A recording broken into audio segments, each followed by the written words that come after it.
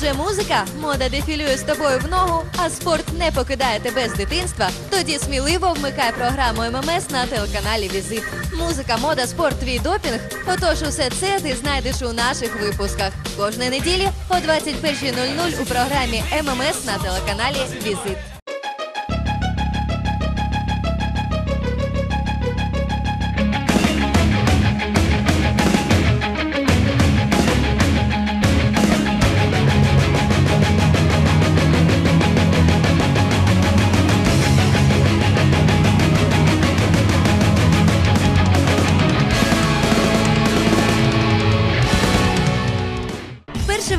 Запрацювала машина часу. З 21 століття ми перенесемося у 13-те. Запеклі поєдинки того часу, пісні і танці, про які розповідає всесвітня історія, які з цікавістю згадуємо тепер. Сьогодні ММС в гостях у військово-історичному клубі Сокіл. Учасники займаються фехтуванням та реконструкцією 13 століття. За мить програмі ММС відчиняються двері в лицарську майстерню. Та сьогодні у випуску на вас чекає видовищне дійство на лоні природи. Отже, зустрічайте в програмі ММС лицарів 21 століття.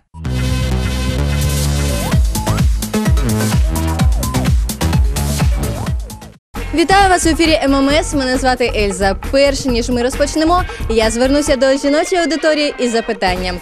Яким повинен бути справжній чоловік? Відповідаю, по-перше, справжні чоловіки однозначно мужні. По-друге, у них такий розумний, суворий, як у звіра, і водночас лагідний погляд. І по-третє, вони майстри на всі руки. І саме таких можна побачити сьогодні в ММС. Військово-історичний клуб Сокіл виник у місті нещодавно, півроку тому. Однак зустрілися учасники ще раніше, тоді, коли тренувалися в іншому клубі, який вирішили покинути і сформувати власний. Зібравшись, однодумці мали на меті займатися реконструкцією Русі 13 століття та фехтуванням. Знайшли невеличкий гараж і поступово розпочали реалізацію свого задуму. Справа, якою вони займаються, ідентична таким спортивним дисциплінам, як бокс та карате. Вправи з фехтування спортсмени відпрацьовують ось тут. А найважча робота та підготовка зброї проводиться поверхом нижче у майстерні, до якої завітаємо одразу після знайомства з учасниками клубу. Артур, как бы вот он воевода, заместитель как бы меня. Директора. Да, вот. Директор да, клуба. как бы Вот э, Дима, э, он э, Казначей, в общем, ну, то есть, как бы, там, собирает денежку и, ну, и прочие вещи. Вот, Ваня, Ваня ответственный за бытовую часть, как бы, то есть, э, там, ну, за, то есть, те же лампочки, там, как бы, вот, и, ну, и за порядок э, внизу и вверху, и здесь, как бы. есть, Себя не забыл? ну, а я, я капитан. Чтобы Не попасть в ваш клуб, это надо какие-то определенные навыки, да? желание. То есть больше, ну, кроме вот, у у кого есть желание, тот находит и силу, и время находит. Ну, знаешь, как оно бывает, когда человек не хочет, то он придумывает отмазки себе вот, там всяческие. Вот, вот я не могу, я там не, не успеваю, у меня там то-то, то вот, Таких вы деле. отсеиваете. А то они сами отсеиваются. Ну, вот здесь, собственно, творятся чудеса.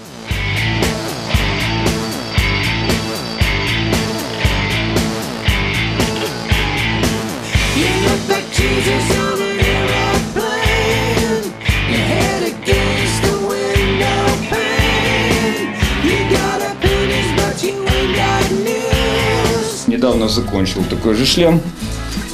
Вот, то есть, в принципе, можно видеть, что Русский, да, это шлем? Да, вот он с трех частей клепан, вот то есть там видно, как он соединенный. Есть все это на заклепочках, все это в потай спрятано, все потом зашлифовано, как бы практически не видно. Сколько времени тебе понадобилось?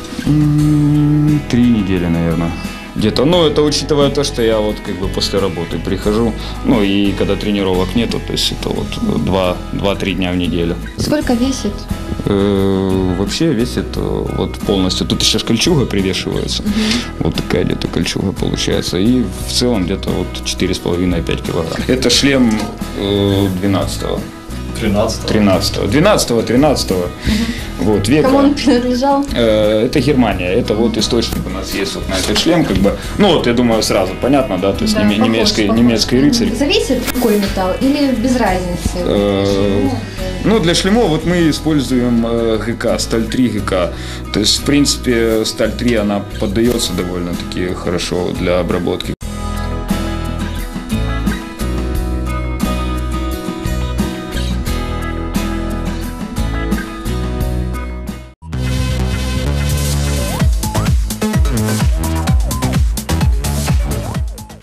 Перейдем к гламурной части передачи. Расскажи про ваши доспехи, откуда, что и какой век. Ну, вот э, это, собственно, вот начну отсюда.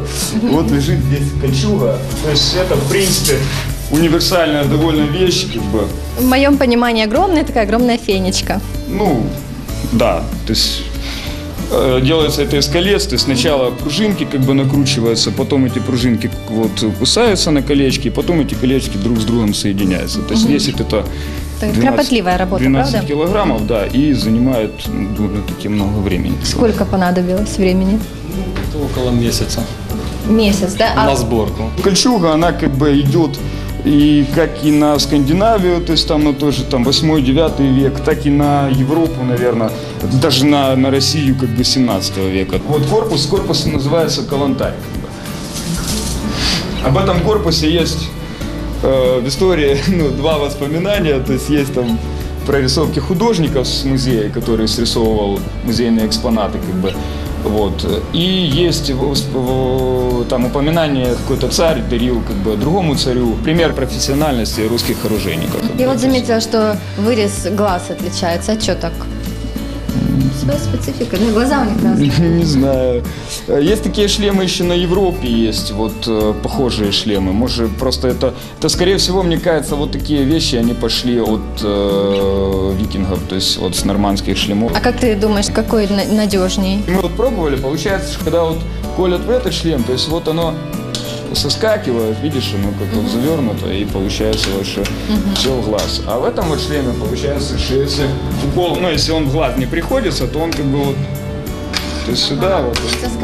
Да, или упирается, или вообще соскальзывает. То есть, ну, это вот, То есть, получается, этот надежнее. ну, на то время я думаю, что все-таки вот, э, вот такие шлема были ну, немножко надежнее. Сейчас вот вообще фехтование, вот э, колющие удары запрещены вообще, в принципе. То есть, потому что колющие удары, они довольно опасны. Можно уколоть в глазницу, можно уколоть вот э, там, ну, то есть они довольно опасны. То есть э, фехтование сейчас разрешены только вот рубящие удары. Ну, такие вот набедренники тот, тоже мы делали, это Артур как бы делал. Вот это тоже на, на 17 Красиво. да, век, все. 16 конец 16 пускай.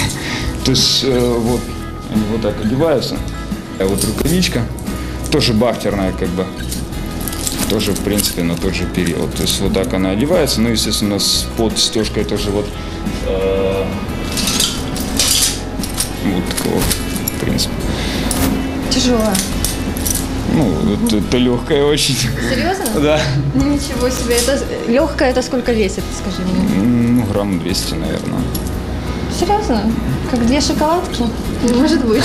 Можна здогадатися, що для хлопців вага рукавички, яку щойно продемонстрував Костя, в рівновазі з вагою пера. Адже, якщо ми ще не казали, комплект зброї в цілому важить не менше 25 кілограм. А ще додайте окремо вагу меча та щита. Тож фізична підготовка у хлопців дійсно таки лицарська.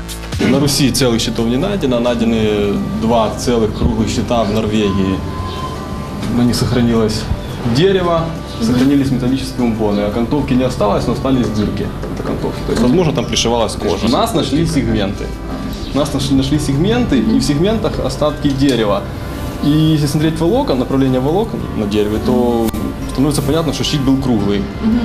Вот. Ну, собственно, окантовывали вот такими вот железячками. В поединках какие самые удобные щиты? э, С такой вот окантовкой, да? Ну, Получается, с это, металлической? это, скорее всего, я не знаю. это вот э, этот щит, он как бы невероятно легкий. То есть вот он очень легкий, но вот как бы вот минуса есть в том, что вот этот щит надежный, прочный, но он, ну, естественно, тяжелее, как бы. То есть, ну, это не знаю, смотря для чего. Если для массовых, как бы, групповых боев, вот там где-то там 100 на 100, 200 на 200 человек, то там вот скорее там, ну, нужна как бы мощь, посильнее ударить щитом, то есть толкнуть, как бы, вот там лучше, наверное, все-таки железо. А вот где турнир, где нужна как бы больше скорость, э, то там вот, легкие щиты, окантованные кожей, как бы больше всего. Это оружие как бы наше. Вот э, кругляки, ну, то есть свойственны как бы европейским мечам, вот круглые яблоки.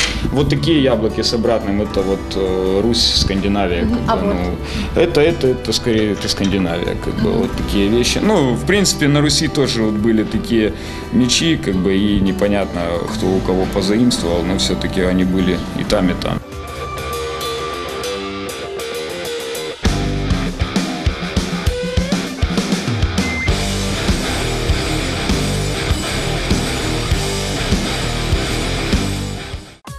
Військово-історичний клуб Сокіл постійний гість різноманітних розважальних місцевих заходів. Їх захоплення розділяють не тільки ті люди, які цікавляться історією та археологією, але й всі небайдужі до такого видовища. До речі, виступають вони як волонтери, хоча будь-яке яскраве хобі потребує певних витрат.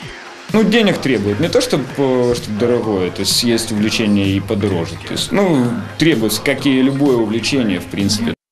Травні 2010-го учасники клубу відвідали масштабний захід польову гру під Києвом, на яку з'їхалися військово-історичні клуби з різних куточків України. Звичайно, це дуже цікаво, розповідають наші лицарі, які сьогодні продемонструють показові поєдинки. А отже, як ми і обіцяли, попереду найцікавіше.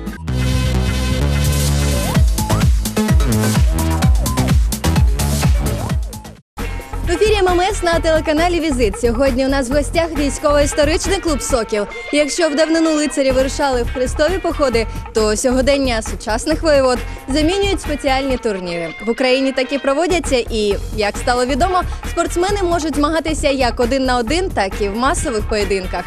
Наприклад, 400 на 400. Останні кажуть більше для душі. Уявляєте, який адреналін? В масових сражениях существують правила і які?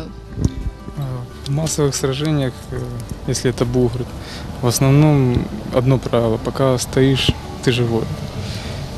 Вот, э, запрещены колющие удары, удары по конечностям, ну, в пах, уколы в глазницы, в- там, Рукопашный. тоже. рукопашный бой, да, подсечки. Э, В основном именно вот рубящие только. Ну и работа щитом, удары щитом, толкание щитом. Не щит- Самое вот страшное, это вот в начале упасть, как бы, то есть это самое, ну, я считаю, досадно. Особенно вот когда бывает, вот начинается толкучка, все вот друг на друга наваливаются, и ты там вот так вот пересыпаешься, кто-то тебя толкает, и ты только брык, так и вот так обидно упал и не подрался, как бы вот это самое вот То есть, самое- если упал, все уже, Да, дисквалификация вот, э, сразу, да? Ну, лежишь, то есть до окончания. Там, где было вот самый большой, который вот я помню, это было 400 на 400, он ровно 5 минут как бы длился. То, то есть, а если вот такие там 100 на 100, то там, ну, там минута, две минуты. А сколько осталось? 400 на 400 и в итоге полягло и Человек 200. Наверное, человек 200 осталось, да. То есть, из 800. ну, это веселый был, как бы. То есть, это мой первый был, как бы, бой массовый. И, ну, я вот сейчас еще хочу в такое же, ну, пока не выпадает возможности. Прямо зараз спостерігайте за показовим поєдинком один на один.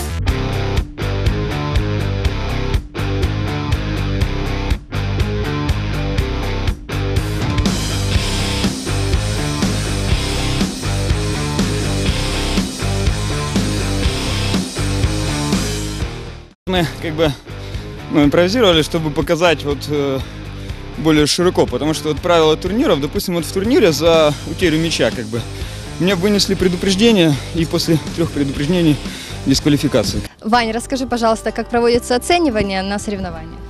Ну, на соревнованиях, турнирах оценивание проводится по четким ударам. То есть голова, тело, ну, в принципе, э, э, разрешенные части тела. Удары четкие, чтобы как бы в реальном бою они могли бы ну, нанести э, Травму. травму. За всем этим следят э, судьи, маршалы называются. Их там, ну, там двое-трое. И как бы как на ринге на боксе, так и тут получается. Считают очки, ходят вокруг, ну и следят за этим вообще. Призы А, какие? Ну а призы обычно доспехи или оружие.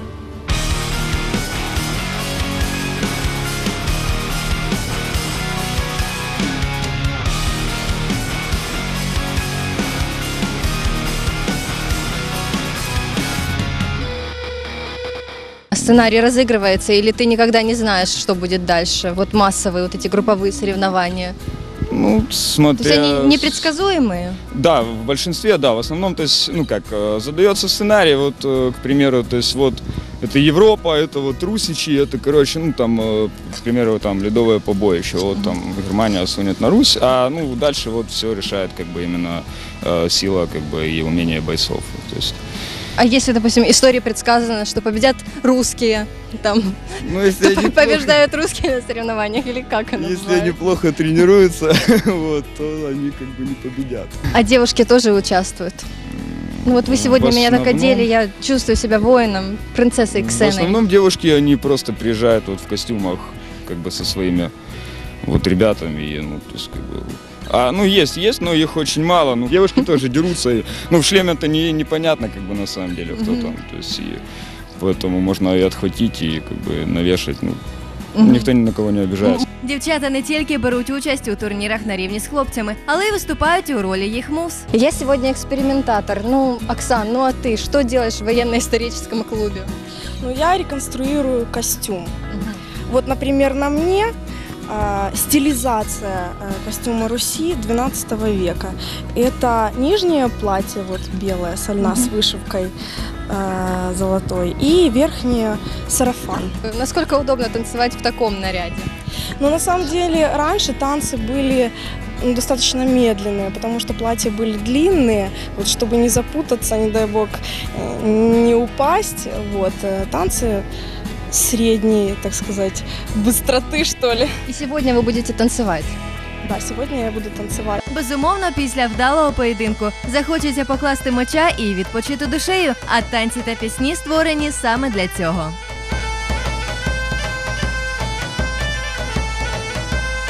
Этот танец называется таусин, что в переводе с древнерусского означает праздник осени, приход осени. Вот. А почему он называется именно так, э, вы увидите, когда мы будем танцевать, что там есть очень много круто, когда мы с партнером меняемся. То есть это э, приход осени после лета, то есть какая-то перемена, круговорот, поэтому он так называется.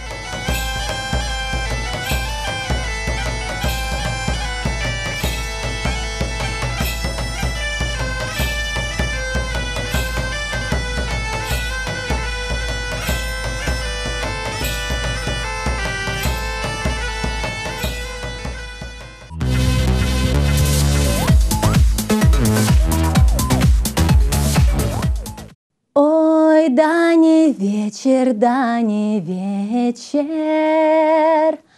Мне малым-мало спалось, Мне малым-мало спалось, Ой, да во сне привиделась.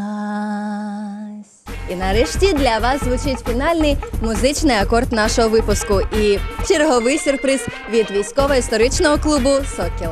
Ой, да не вечер, да не вечер,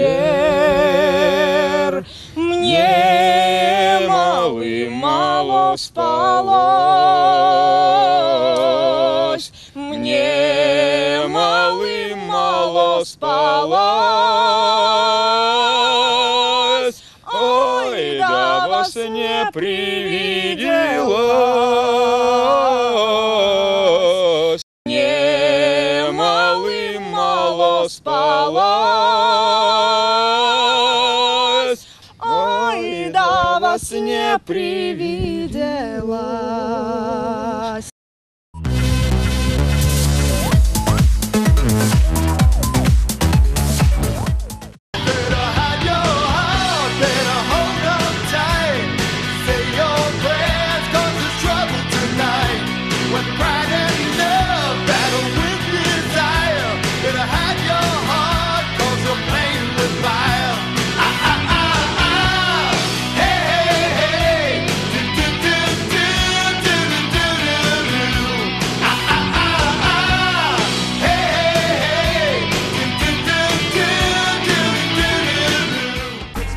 творчість і телебачення завжди поряд сказала мені якось одна розумна людина. Та справа, якою захоплюються ці молоді люди, гідна поваги та оплесків. Клуб Сокіл тільки починає розвиватися. Бажаємо їм процвітання та віри у себе. І безперечно, чекаємо, що скоро в Кременчуці будуть проводитися подібні турніри, які, до речі, вже є у планах учасників клубу. Нашим телеглядачам бажаємо не забувати, що спорт невід'ємна частина здорового способу життя, а творчість прикрашає і робить життя цікавішим та яскравішим. В ефірі була програма ММС. Ми, як завжди, знімали з вас стрес. З вами була ваша Ельза, вроджена брюнетка із білявим темпераментом. До наступної зустрічі.